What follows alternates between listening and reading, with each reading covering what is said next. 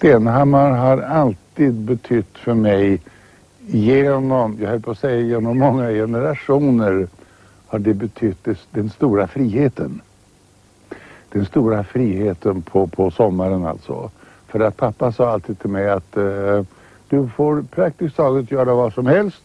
Men kommer du hem och har dränkt dig, då får du smörj. Greve Lennart Bernadotte är tillbaka på pappas prins Wilhelms slott Stenhammar i Sörmland. Prins Lennart Bernadotte, född 1909, gifte sig borgerligt, förlorade prinstiteln, gjorde om det tyska slottet Mainau till turistmål och fick nio barn. Men en annan intressant del av greve Lennarts liv är hans släktskap med olika kungliga och kejserliga familjer. Mamma, prinsessan Marie, kom från den ryska tsarfamiljen Romanov och han uppfostrades av farmor och farfar, Gustav V och drottning Victoria på Stockholms slott eftersom prins Wilhelm reste mycket efter skilsmässan. Men när han kom hem kunde sonen få lämna drottning Victorias stränga uppfostran och följa med pappa till Stenhammar. Han hämtade ut mig lite, inte bara lite utan mycket ur den där inhägnaden som jag levde i som min farmor hade skapat omkring mig. Hon var ju i allra högsta grad eh, drottning av Guds nåde. Hon trodde på det alltså.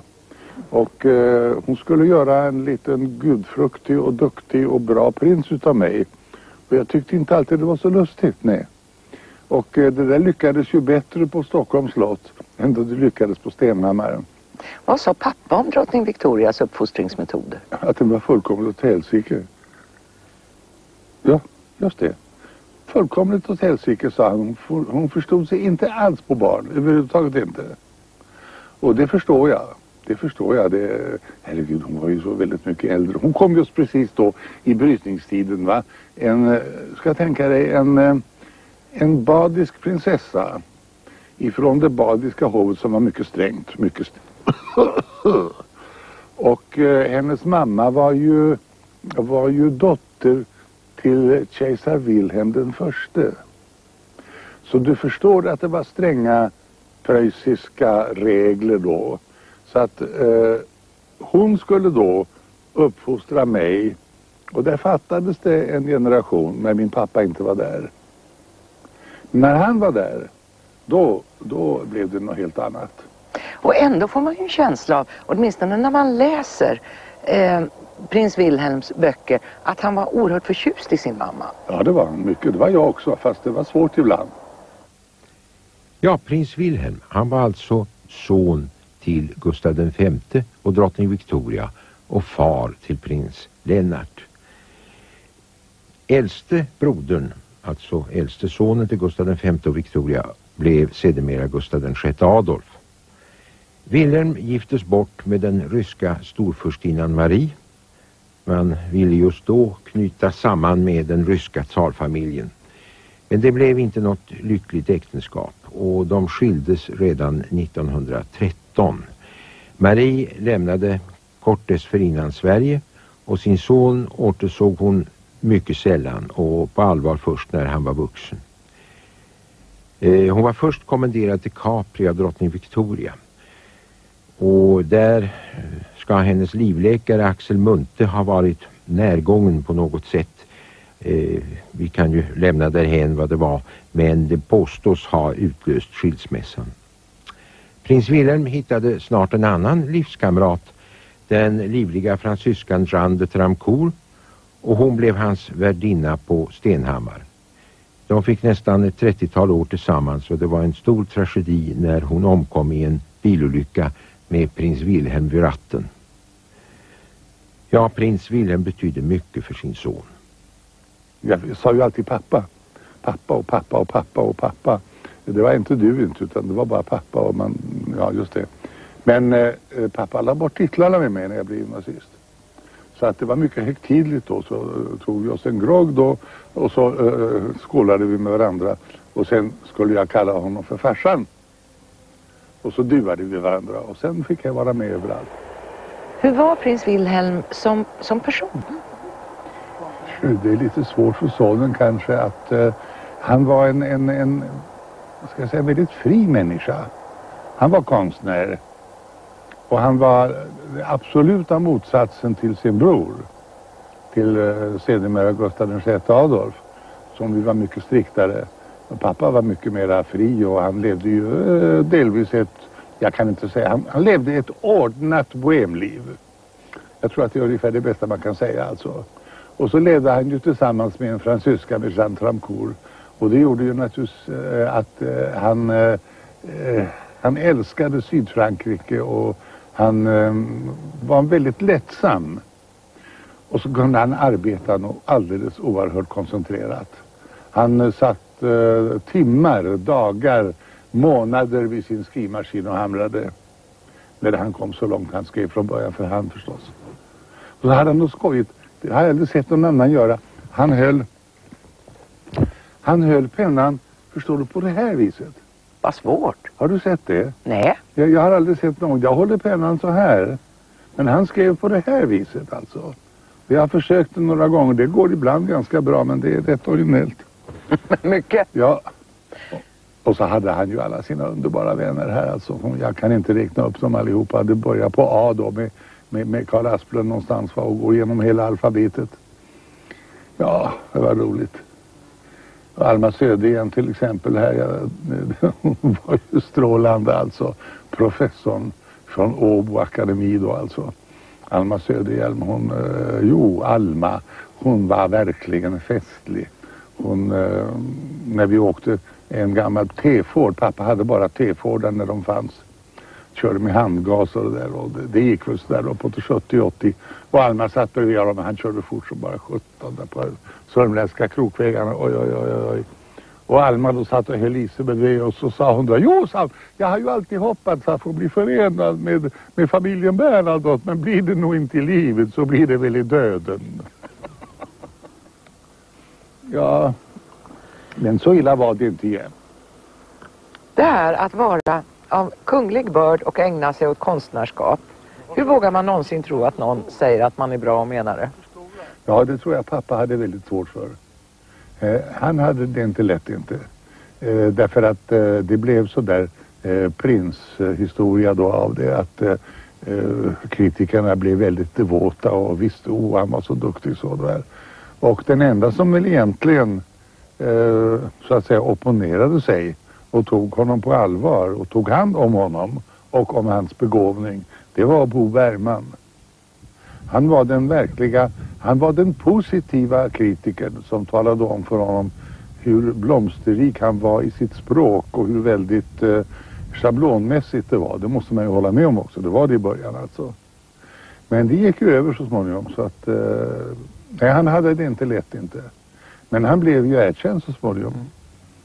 Sen levde prins Wilhelm här tillsammans med sin franska väninna. Ja. Hur sågs det? Jo, det, det tror jag de var mycket chockerade över i början. Eh, man kan ju tänka sig hur hans stränga mamma såg på det. Och eh, in, inte bara det att det var en väninna och att de inte var gifta utan det var också en fransyska ifrån Paris. Oh, så förfärligt. Syndens och lastens näste. Ja. Så att de träffades aldrig.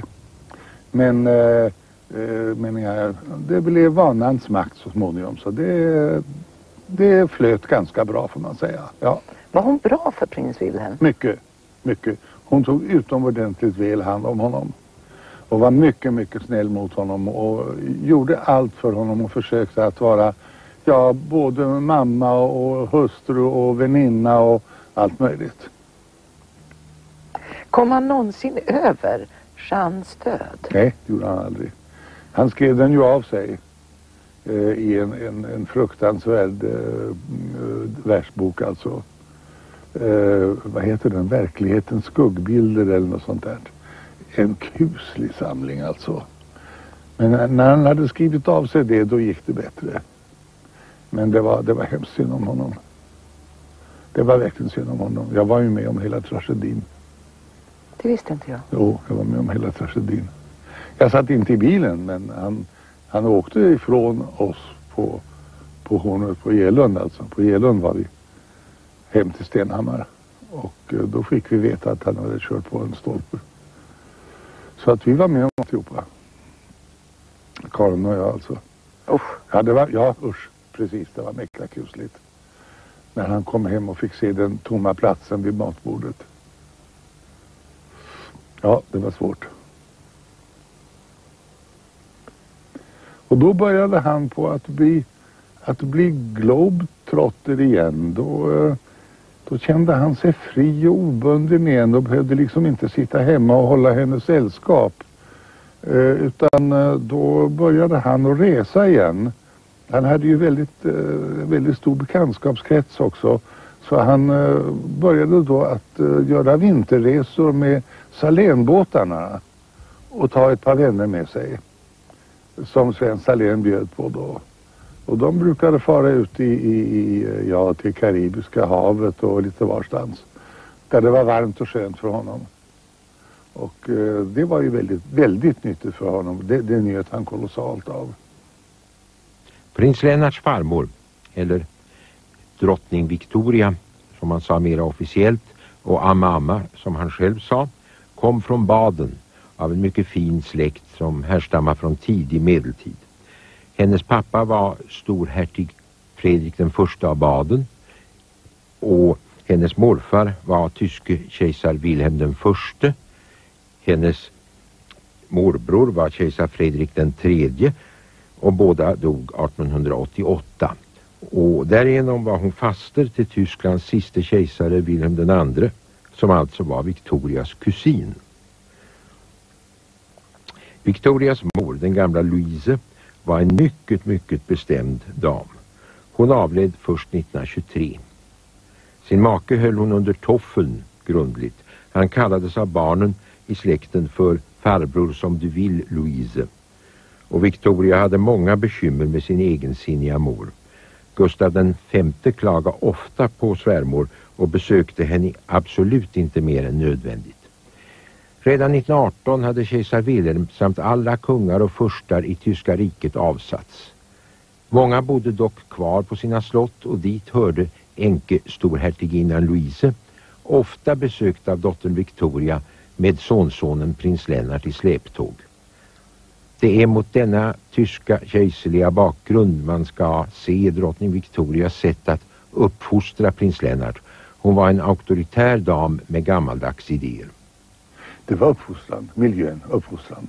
Hon var, eh, eh hon var dotter, dotter till en kejsare alltså och eh, preussiskt uppfostrad och så var hon ju högreligiös alltså. Det var Gud och Gud och Gud jämt. Man fick ju aldrig säga att det var ett uruselt väder. Aj, aj, aj. Det skickade Gud, så det fick man inte säga. Det var hedelse. Så långt gick det. ja. Har greve Lennart någon uppfattning om varför Mainau testamenterades till drottning Victoria så att säga med destination till greve Lennart? Ja, det tror jag jag har en aning om. Men jag kan inte säga bestämt. Det kan jag inte. Jag kan bara säga att jag har en aning om. För det första alltså så menar jag, det kan jag säga som utgångspunkt va? att jag var Victorias ögonsten. Men det är alltså själva första utgångspunkten alltså. Att, eh, och hon ville ju absolut försöka ta hand om mig och skulle se till att det gick bra för mig och allting. Och eh, då, eh, det är en utgångspunkt. Sen den andra utgångspunkten är att hennes bror, storhertig Fredrik den andre utav Baden, han, han hade inga barn med Hilda utan Nassau. Utan eh, de eh, undrade väl lite grann vad de skulle göra med Mainau. Och eh, Fredrik den andre trivdes inte på Mainau. Han tyckte stället var rysligt alldeles. Och nu, nu kommer det en helikopter in i ljudet här. Så nu får vi sluta ett slag. Men du, vi ska fortsätta på det här nu med Mainau va? Ja. För att jag, jag kommer inte slut med det för helikoptern kommer i vägen. Jo. Du var ögonstenen. Ja, jag var, jag var min, min uh, farmors ögonsten och uh, Fredrik den andre var barnlös. Och det var väl antagligen kombinationen. Eh, jag antar att min farmor ville gärna ha över det till sin son. Wilhelm var ju älsklingssonen också. Och så var jag älsklingsbarnbarnet. Och eftersom det egentligen inte fanns några mera arvingar på den linjen så att säga där. Eh, mina kusiner var ju försörjda så att säga på sitt sätt. Så tyckte hon det var väl bra att uh, få det över på min pappas linje och sen till mig. På det viset kommer vi dit. Men när de har gjort det, när det gjordes, när de kom på idén, det har jag ingen aning om. Ingen aning om. Jag har fått en alldeles annorlunda bild av Gustav V efter att ha läst greve Lennarts böcker. På vilket sätt då? En man nu med tar vi humor. väl tvärtom här att jag frågar på vilket sätt då? Har du fått en annan bild utav, jag kallar honom alltid för Vegurra alltså, uh, oförskämt nog. Men han var min goda gamla farfar, jag menar inget illa med det. Men på vilket sätt har du fått en annan bild av honom? Humorn. Trodde du att han inte hade humor? Ja. Ja men det stämmer ju inte alls. Han hade en, en djup och underbar humor. Han hade samma humor som pappa. Och han var exakt, exakt likadan. Han ville inte ha snaskiga historier. De fick vara lite vågade, ja, okej. Men det fick inte vara bara snusk, absolut inte. Och så var han, ja, han var ju glad och trevlig och jag hade väldigt mycket roligt med honom. Och han var ofta den som just bröt eh, när min farmor blev lite för sträng. Så sa han då, nej men snälla Vicke du... Pojken gör ju så gott han kan. Ja. Mm. Så han tog mig mycket ofta i försvar. Och det fick han nog fan på, uppe på rummet sen tror jag. Hur mycket träffades ni? Ja, det var inte lika mycket som med A-mamma naturligtvis, det är klart. Det var inte riktigt lika mycket för han hade ju så mycket om sig och så. Men det, vi träffades ju ofta ändå. För det mesta när man träffade henne så träffade man honom också. Men han var mera oåtkomlig än vad hon var. Så att eh, det, var inte, det var inte så ofta. Hur nära stod prins Wilhelm sin far? Ja, jag tror att han stod båda föräldrarna mycket nära. Han stod ju sin mamma mycket nära. Han var ju med vid hennes dödsbädd också. Och eh, jag vet att de höll varmt om varandra, alltså av varandra heter det. Och eh, pappan, eh, jag tror att de gick väldigt bra ihop för de hade samma slags humor. Eh, på ett sätt, ja inte på ett sätt, jo på ett sätt just. De hade nog samma sätt att se på tillvaron och delvis också samma sätt att se på hovet. Jaså? Ja, det skulle jag tro. Det skulle jag tro. Ja, ja. Jag vågar knappast fördjupa det där. Men möjligen kan man fråga hur stod han då ut? Ja, det frågar man sig ibland. Det var ju det som pappa inte gjorde. Ja, just det. Och det, det förstår jag mycket väl alltså att det är, det är nog inte så lätt inte. Men eh, eh, han klarade det väldigt fint och, och herregud, det är så många år sedan. Det var ju, gick ju till på annat sätt på den tiden. Men eh, han, han klarade det väldigt fint och han hade en väldigt fin humor som sagt var. Och eh, han skämtade och glammade med hovfruntimret och även med herrarna. Och när han, när han spelade bridge då var det ju allvar förstås, det är klart. Då var det allvar. Men annars var det eh, nog mycket humor. Och eh, jag minns honom som fiskare. Eh, han, ja, och jag, jag gick med honom, gick får man väl säga, i hans motorbåt med fiskaren, vad heter han, Eriksson va? På, på Tullgarn. Jag kan ha varit sådär en, en sex, sju år, år någonting. Så fick jag åka med honom i hans motorbåt på eftermiddagarna. När han drog gäddor ifrån sin motorbåt. Då hade man åkt ut med någon ångslup först då till Eriksön. Och där fick man då den där berömda pajen som man åt då alltså. Som eh, gjordes i köket och åts varm sen. Eh, med underbart recept förresten. Det finns någonstans. Arbin gjorde den där också. Och eh, sen då så eh, skildes han ifrån det övriga sällskapet ifrån Hofvet och eh, gick ombord på sin lilla motorbåt som fiskaren Eriksson körde. Och där fick jag sitta bredvid honom och så skulle vi dra gäddor. Och vi hade varsitt drag ute. Likadant. Och han drog på en eftermiddag upp minst fem gäddor. Jag fick aldrig någon enda gädda. Eh. Kungen tog alla. Väluppfostrade gäddor. Ja. De var dresserade antagligen. Ja, överhovmarskalken hade antagligen gjort det. Han tyckte illa om att förlora. Förmodligen, ja, förmodligen. ja, nej det gick mycket bra med farfar. Det var inga, inga svårigheter alls.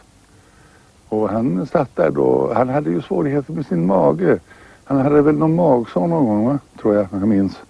Och eh, hade väl rätt nervöst arbete så att eh, läkarna hade eh, rått honom att göra något handarbete. Det var väl då han började brodera. Han, han inte bara broderade, han brukade knyta nät också ibland. Och det gjorde han då vid tebjudningarna i Ehrenstrahlska salongen i Drottningholm. Knöt nät? Ja, just det. Knöt nät, ja. Ja, ja. Han var skicklig på det. Han var kolossalt skicklig med sina händer. Han var skicklig på att tända cigaretter. Han var en enorm rökare. Trots lungemfysem i släkten? Ja, men han hade inget. han hade inget. Nej, det hade aldrig gått så väl. Han hade underbara egyptiska cigaretter. De var så, så underbart aromatiska så det luktade lång väg. Och jag, glöm, jag glömmer aldrig, jag skulle, pappa hade också sådana där och jag skulle, jag tyckte de luktade så gott i askarna. Ja pojkar, det var ju förbjudet där alltså. Och jag tog naturligtvis en cigarett och gick om knuten och, och tände och tänkte att det skulle smaka hemskt gott. Det smakar ju förskräckligt alldeles. Och sen dess har jag rökt väldigt lite, det smakar så illa så att jag slutade alldeles från första början. Gustav V var ju den som verkligen var regent under tiden från enväldet till, eh, till folkväldet. Jag menar, han, han, han regerade ju verkligen under den perioden. Ja, det gjorde han. Ja, det är riktigt, absolut. Och det var väl det också just som min farmor var så noga med. Att det skulle vara, det var kungadömet utav Guds nåde. Det var det hon hade så svårt att förstå. Att han mer och mer och mer gick över på det, på det, ehm, på det ja, ska vi kalla det, på, det, på den demokratiska linjen. Hon avskydde ju socialdemokrater och hon tyckte det var en, en, en, skam när de kom in i regeringen. Och min farfar var, visste precis vad han gjorde. Så det är så. Är det svårt, var det svårt för honom att vänja sig vid att makten försvann? Det vet jag inte, det, det talade vi aldrig om. Det vet jag inte. Jag tror att det var väldigt svårt för Victoria. Det tror jag var för henne någonting förskräckligt alldeles. Eh, och naturligtvis var, var Tysklands roll i första världskriget en, en katastrof för henne, det är ju klart.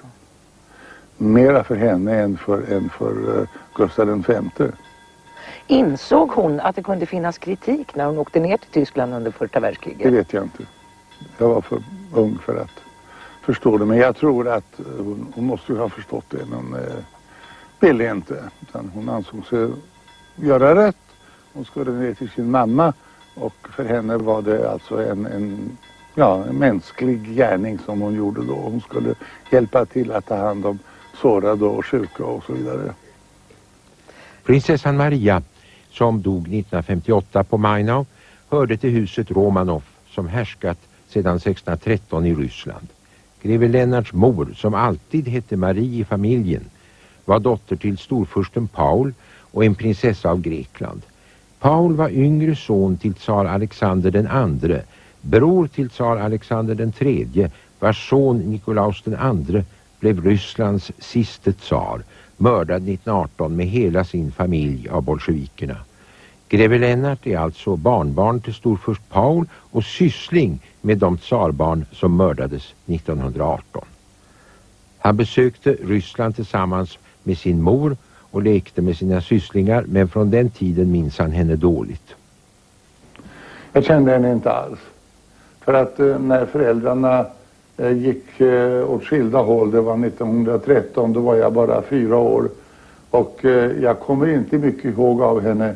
Men eh, jag kommer ihåg, eh, jag har vissa, vad ska vi kalla det för, vissa snapshots, vissa eh, kraftiga minnesbilder ifrån olika situationer framförallt då ifrån, ifrån den här sista resan till Sankt Petersburg och till Moskva när de firade 300-årsminnet utav familjen Romanovs trontillträde i Ryssland.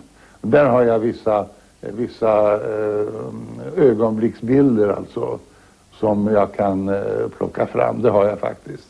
Vilka då? Ja, jag tror, jag tror nästan att jag skulle kunna hitta tillbaka nu i Kreml till den våning som vi bodde i. Om huset finns kvar vill säga, det kan ju hända att det är ombyggt där. Men jag vet precis var vi bodde och jag skulle kunna visa det på gamla fotografier. Så där skulle jag kunna, kunna uh, visa vägen dit. Ja, till exempel när det ringde i de stora klockorna i klocktornet alltså så hängde klockorna ju stilla och så var det fyra man som drog i, i kläppen. De hade tåg, halvnakna, starka gossar. Ringar i Notre Dame riktigt alltså, som drog i kläpparna. Det var mycket, det var mycket spännande. Och så den där klockan som ligger nedanför som föll ner när de skulle hissa upp henne då. Som är sönder, det var jag inne i naturligtvis som pojke. Det var ju klart det var spännande. Hur såg det ut i Kreml då? Och så var det, var det väl eh, ett par processioner som jag kommer ihåg också. Och så kommer jag faktiskt ihåg att jag lekte med uh, tsarbarnen. Med, med flickorna och med Tsarevic. Det kommer jag ihåg. Men inte mera än att jag, att jag, att jag verkligen var med dem, det kommer jag ihåg. Men inte mera. Hur såg den unge blivande tsaren ut? Minns det kommer jag inte ihåg heller. Eh, jag minns inte, jag kommer bara ihåg att vi, vi fick inte rasa så mycket. Man, man fick, fick jag lära mig också att man skulle vara rädd om honom. För hans, eh, han var dålig, han var sjuk hette det alltså. Man skulle vara mycket dålig. Man skulle vara mycket försiktig med honom.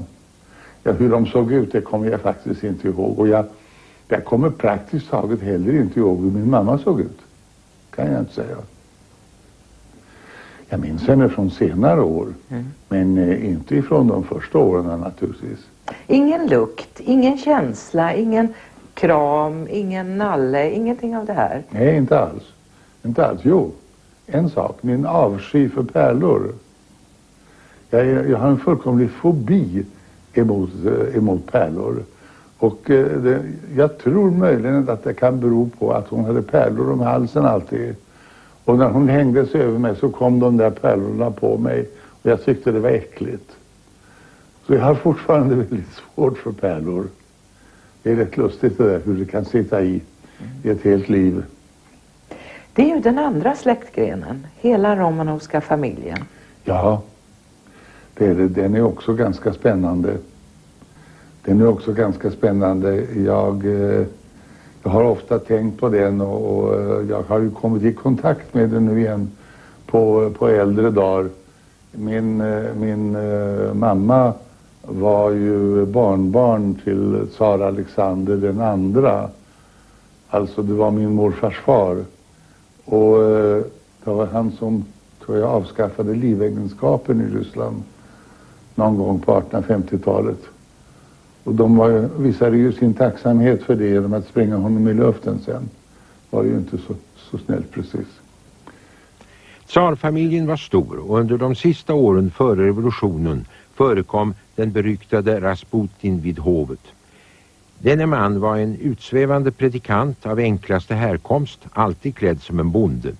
Han fick åtskilliga anhängare inom den kvinnliga aristokratin och han var också, sades det, en framstående healer en sån där som kan bota sjuka med böner och handpåläggning. Framförallt lyckades han med tronföljaren, den lille Tsarevich, som leda blödarsjuka. Och efter det så var han oumbärlig för kejsarfamiljen, särskilt för kejsarinnan. Men genom en komplott inom högadeln mördades den hatade Rasputin 1916 och i komplotten återfinner vi greve Lennarts morbror Dimitri. Storförst Paul, greve Lennarts morfar, blev tidigt enkling. Till de moderlösa barnen hörde dels Marie, dels hennes älskade bror Dimitri som i likhet med systern skulle överleva revolutionen och dö i landsflykt. Paul gifte snart om sig med nog fasa under sitt stånd och var tvungen att bosätta sig med sin nya hustru i Paris. Olyckligt nog återvände han till revolutionens Ryssland och blev mördad. Marie fick alltså halvsyskon i faderns nya äktenskap.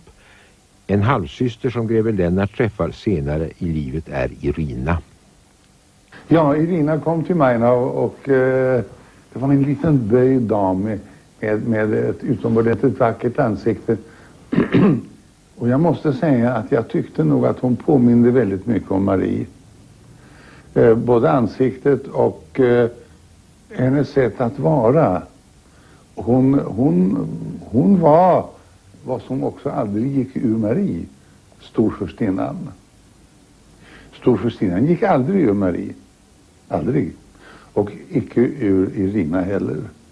Och hur trevlig hon än var och hur kul man än kunde ha med, med roligt när hon berättade och hur, när man skämtade med henne och sådär. Men alltså det var någonting utav noli med tangere alltså, icke, icke för nära, nej. Men hon var bedårande, hon var helt bedårande och hon, eh, hon satte igång och berättade alltså. Och eh, det var ju ganska, ganska spännande. Och så visade hon mig på sin mammas eh, bok alltså om eh, ryska revolutionen, om vad hon upplevde där. Och det är ju det är bland det kusligaste jag har läst alltså hur de eh, sakta men säkert alltså helt enkelt, eh, ja man kan nästan säga de torterar ihjäl hela familjen eh, Romanov. Psykiskt och delvis också fysiskt alltså. Det, det är en, en kuslig läsning. När man läser det så är det några saker som förvånar en. Det är att familjen inte flydde landet. Så många av dem stannade kvar och sa min plats är i Ryssland. Ja, de sa det. De var uppfostrade så. De hade väl avlagt sin ed till tsaren och de var, ansåg sig absolut tvingade att, att följa den. Ja då, nej, min morfar hade ju inte behövt att uh, flytta tillbaks nej. ifrån Paris, absolut inte. Men han ansåg att det var hans plikt att göra det. Och det kostade honom livet. Var då? I, i uh, Petersburg kostade det honom livet. De sköt honom. De sköt honom i, uh, uppe på uh, fängelset. Vad heter det nu igen? Det kommer jag inte ihåg just nu. Uh, vad heter det nu? Peter Paul heter det. Peter Paul-fästningen. Där satt han instängd i några månader tillsammans med tre utav sina kusiner var det väl. Och eh, en vacker natt så, så förde de ut dem och sköt dem allihopa. Berättade mammas bror någonsin någonting om att han var med att mörda Rasputin? Nej, det gjorde han aldrig. Det fick jag aldrig höra någonting om. Nej. Varför inte? Ingen aning. Jag vet inte om de hade liksom kommit överens om att det talar man inte om. Det är möjligt att de försökte förtränga det. Men eh, det, var ju, det blev ju en egendomlig, en egendomlig koppling där därför att, därför att Dimitri var med eh, bara vid tillfället. Han var aldrig med och dödade honom personligen. Men han var med när han dödades på avstånd alltså. Detta faktum räddade livet på honom. Därför att han blev förvisad av tsaren till de persiska trupperna.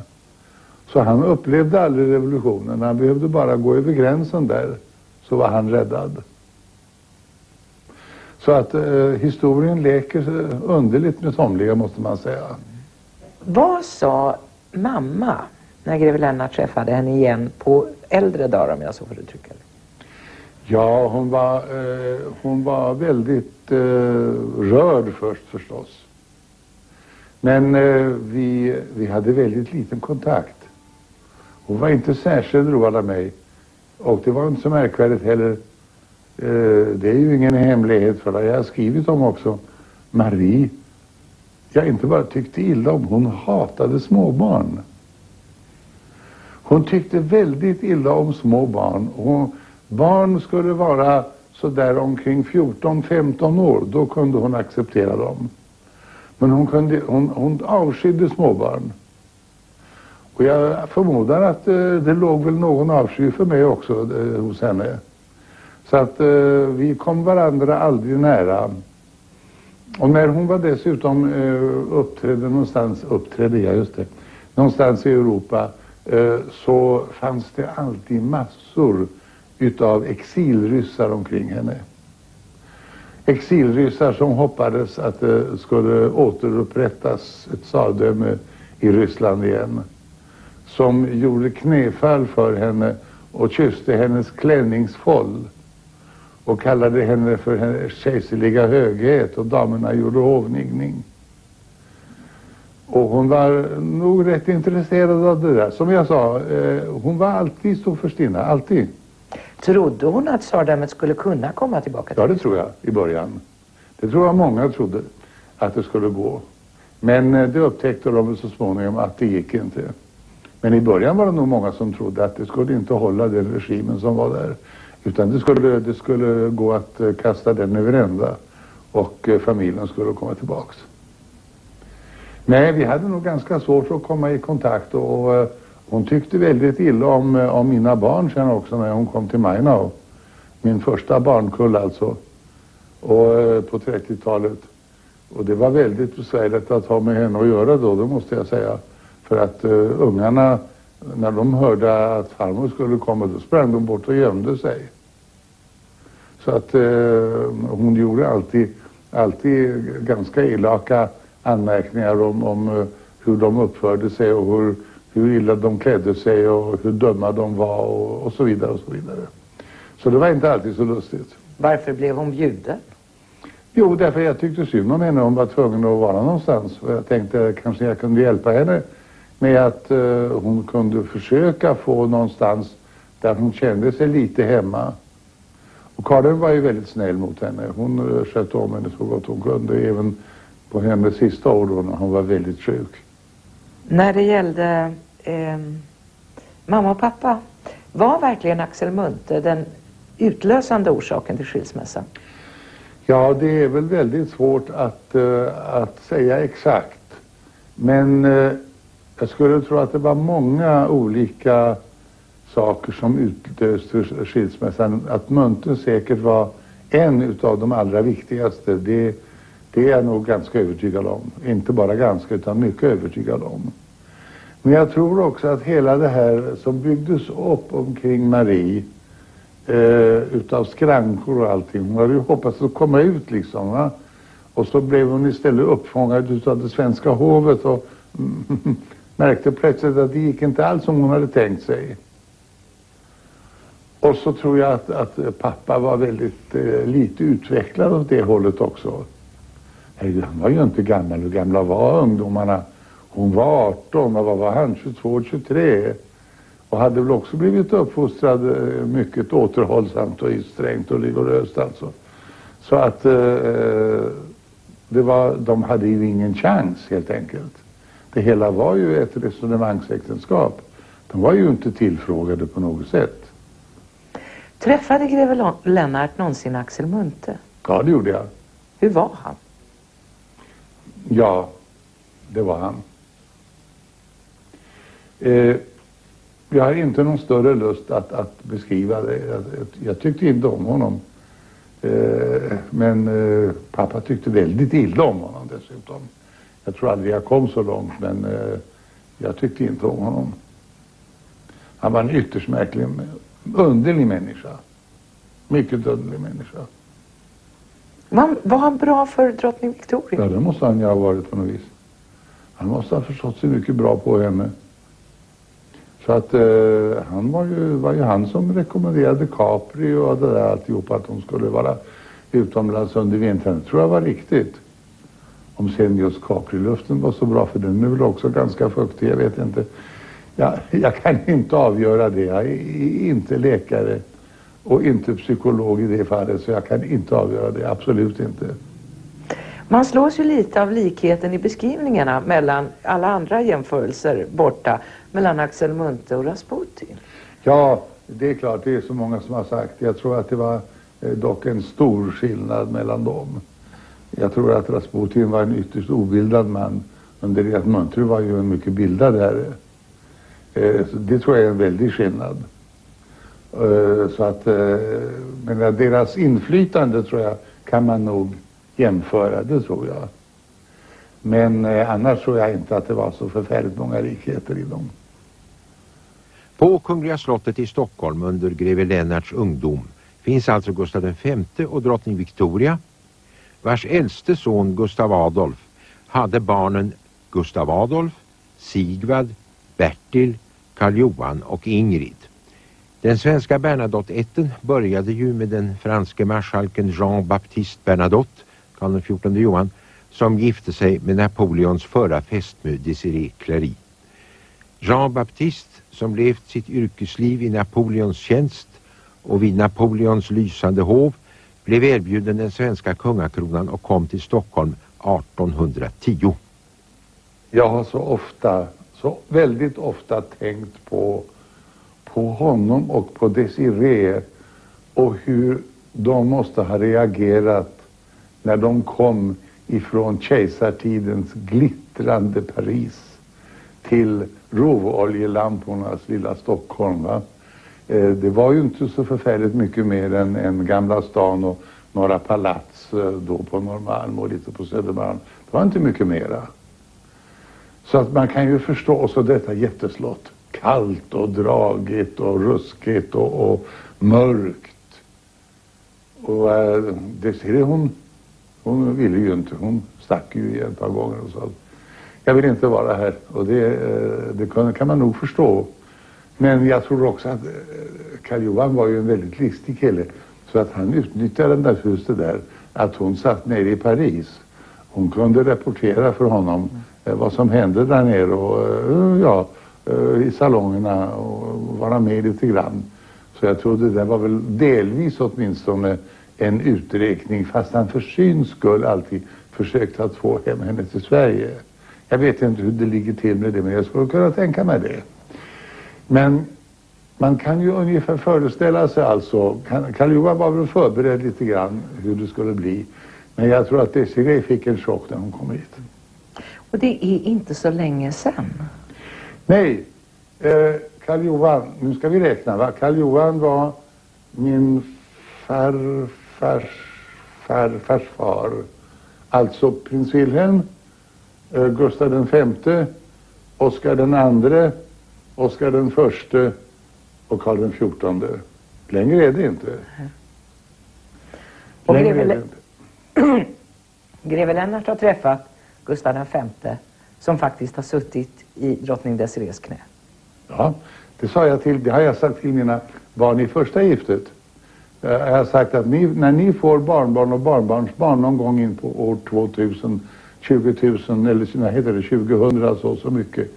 Då ska ni tala om för dem att du, Birgitta, du har suttit i knät på eh, eh gamle Gustav den femte på jularna på Drottningholm och han i sin tur hade suttit i knät på Desiree. Det är historia. När man läser om kunglig uppfostran så förvånas man över att hela uppfostran går ut på att lyda för ett liv för att bestämma. Ja, det sades alltid. Det fick man höra, jag höll på att säga dag och natt. Att om du inte har lärt dig att lyda så kan du heller aldrig bestämma. Jaha, det fick man höra. Och eh, ja, eh, det var så mycket, eh, så mycket föreskrifter och det var, det var helt enkelt uppfostran, rigorös uppfostran. Så att det var, det var väldigt svårt att hitta rätt och samtidigt, samtidigt skulle det vara demokrati. Alltså man skulle spela en mellanroll som var omöjlig helt enkelt att åstadkomma. Man skulle vara prins. Jaha. Och, och man skulle uppträda som en prins och sådär. Och, och, och, man gjorde något nå lite hysch och sådär. Så hette det så. Gör inte en liten prins. Nej. Och samtidigt om man då plötsligt blev en liten prins så hette det nej, nej, nej, nej, nej, nej, nej, man ska, nej, nej, nej, nej, nej, nej, och ni måste vara mycket mera eh, tjänis med, med, med kamraterna och sådär. Så det, det alltså, hur skulle man klara det? Det var inte lätt inte. Och i synnerhet när jag kom ut ifrån Slottsskolan ut till Almqvistska samskolan. Där var det ju verkligen, där, där kom jag verkligen i beknip. Därför att när jag kom i, i klassen då då eh, var det ju, det var ju ganska fritt i alla fall där då mot, mot eh, Slottsskolan. Och eh, fröknarna i skolan de förväntade sig att jag skulle vara änglalik och eh, med en kolossalt god uppfostran. Och kamraterna de hatade ju den där goda uppfostran. Och jag med. Därför att de accepterade mig inte. Och därför försökte jag att bli så busaktig som möjligt.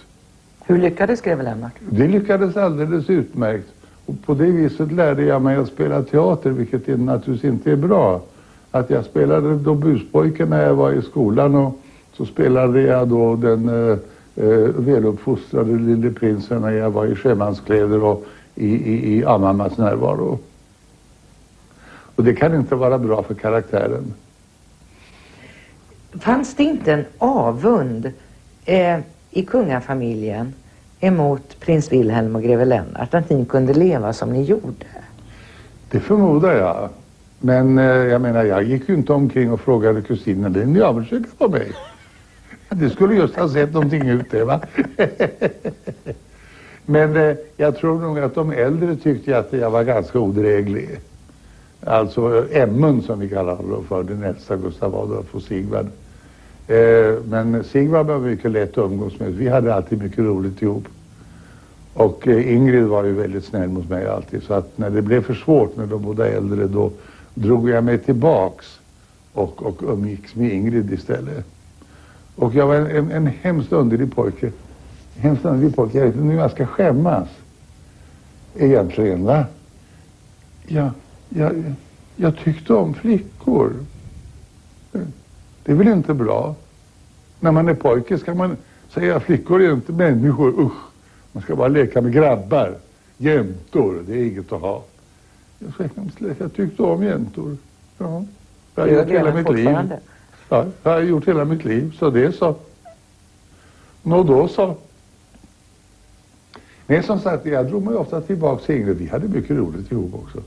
Hon hade alltid trevliga eh, skolkamrater hos sig också. Så att, eh, vi hade nog mycket trevligt egentligen. Och så hade vi ju Bertil och, och, och Johnny att ta till då. Det, vi hade det bra tillsammans. Både på Sofiero, jag var där ett par somrar. Och även på slottet i Stockholm. Hur mycket betyder individen för historien? Ja, individen betyder naturligtvis väldigt mycket. Individer och begåvningar och så.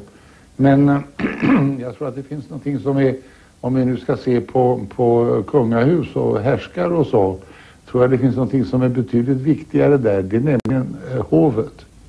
Jag tror att hovet i alla tider alltså, eh, framförallt just i gångna tider, inte numera på det sättet, men i gångna tider har betytt oerhört mycket för att det har gått galet för, eh, för eh, den härskande familjen. Till exempel i Frankrike och i Ryssland. Bara det alltså. Det är två lysande exempel på hur hovet har avskärmat den härskande familjen ifrån folket. Medvetet alltså, bara byggt upp omkring sig själva om vad som är nyttigt för dem och bra för dem och har inte brytt sig om resten. Och så rätt var det så skär det sig och då är det slut.